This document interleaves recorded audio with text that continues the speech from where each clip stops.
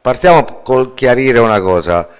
L'assessora Trigiani ha una residenza, ha un domicilio, che tipo di frequentazione ha con quell'immobile contestato? Eh, la, la, Trigiani ha un, una residenza iscritta presso il comune di Manfredonia per la località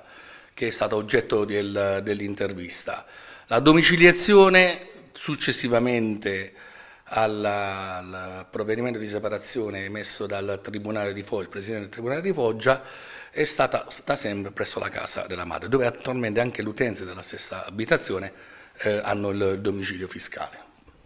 Corrisponde al vero che un giudice ancora l'anno scorso ha riconfermato che Trigiani può restare in quell'abitazione nonostante i suoi figli ormai siano maggiorenni?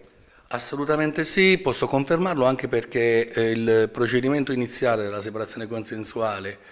è avvenuta, um, avvenuta intorno al 2014 se non ero qualcosa del genere,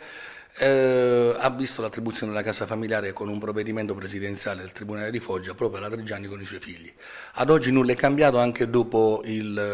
dopo l'omologa avvenuta per la cessazione degli effetti civili del matrimonio e quindi mi riferisco a quello che eh, hai detto in questo momento, cioè anche ha riconfermato le stesse patte condizioni precedenti.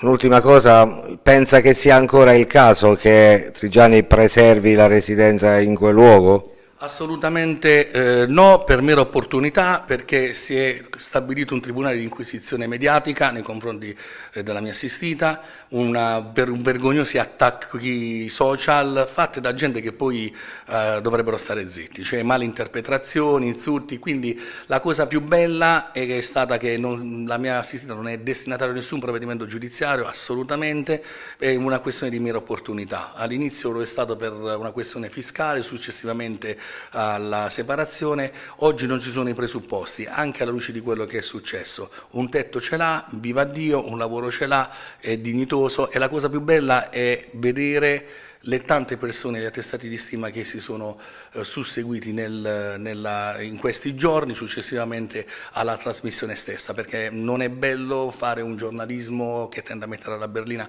in orita da parte senza ascoltare l'altra parte, ma incalzare solo delle domande e poi montare un servizio ad arte solo per screditare le persone.